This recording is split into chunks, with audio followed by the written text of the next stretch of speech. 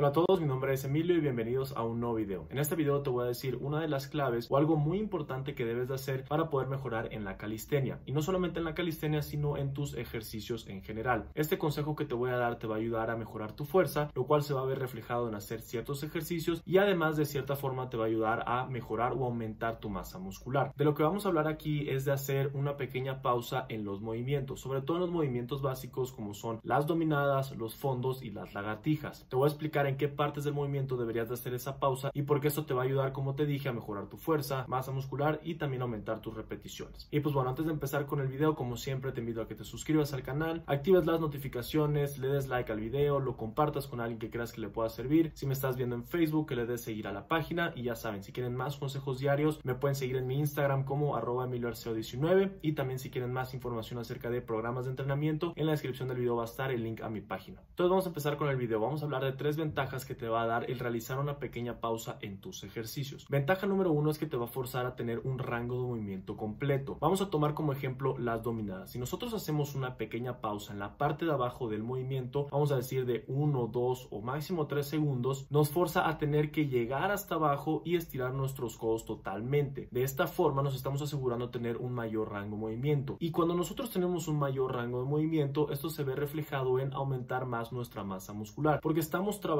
y estirando los músculos en todo ese rango. Lo mismo pasa con otros ejercicios como por ejemplo los fondos o las lagartijas. Si nosotros hacemos una pequeña pausa, nuestro cuerpo no nos va a permitir hacer la medias, va a querer que bajemos lo suficiente para poder hacer esa pausa. Y otra de las ventajas de tener un rango de movimiento completo es que nos vamos a hacer más fuertes en todos esos rangos. ¿Qué significa esto? Si nosotros realizamos las dominadas a medias, nada más nos vamos a hacer fuertes en ese rango. Pero si nosotros las hacemos completas o en cualquier ejercicio, vamos a hacernos fuertes en todos esos rangos. Y esto nos va a ayudar muchísimo a sacar ejercicios como por ejemplo el muscle up. Para el muscle up en barra es importante que tengamos fuerza en la parte de arriba de las dominadas. Así que en este caso también hacer una pequeña pausa en la parte de arriba de las dominadas, vamos a decir unos 2-3 segundos, nos va a ayudar a tener esa fuerza que se va a ver reflejada o trasladada a poder hacer con mayor facilidad el muscle up en barra. Si tomamos en cuenta el muscle up en anillas, ahí tenemos que tener más fuerza en la parte de abajo de los fondos. Entonces si nosotros practicamos los fondos en anillas, podemos quedar en esa parte de abajo, hacer esa pequeña pausa y vamos a estar fortaleciendo esa área, porque cuando nosotros subimos en el muscle up en anillas, quedamos en la parte baja del fondo. Así que haciendo estas pequeñas pausas, nuestro cuerpo se verá acostumbrando a realizar esos movimientos. Ventaja número dos es que cuando nosotros hacemos esa pequeña pausa, nos obliga a producir más fuerza para poder subir. Toma como ejemplo cualquier ejercicio, las lagartijas, los fondos o las dominadas. Si nosotros estamos en la parte de abajo y eliminamos ese momentum o ese swing que nos ocasiona el bajar de manera rápida, vamos a necesitar más fuerza para poder subir. Y el hecho de que nosotros necesitemos producir más fuerza para subir nos va a ayudar a aumentar nuestra fuerza y por lo tanto si nosotros somos más fuertes en un ejercicio, vamos a ser más eficientes al momento de realizar cada repetición. ¿Qué significa esto? Si tú eres fuerte en un ejercicio, te va a costar menos trabajo, vas a requerir menos fuerza para poder hacer cada repetición. Por lo tanto, a largo plazo vas a poder sacar o aumentar el número de repeticiones que haces, porque recuerda que si eres fuerte, de cierta forma también se ve trasladado a poder aumentar el número de repeticiones. Y ventaja número 3 es que vamos a tener más tiempo bajo tensión los músculos. Es importante el tiempo en el cual el músculo está bajo tensión para enfocarnos en la hipertrofia o el aumento de masa muscular. Vamos a tomar el siguiente ejemplo. Si nosotros realizamos 10 dominadas y nos toma, vamos a decir, 12, 15 segundos realizar esas 10 dominadas, compararlo con hacer menos dominadas, vamos a decir 8 dominadas, pero nos está tomando 20, 25 segundos hacer esas 8 dominadas, vamos a tener en el segundo caso más tiempo en músculo bajo tensión,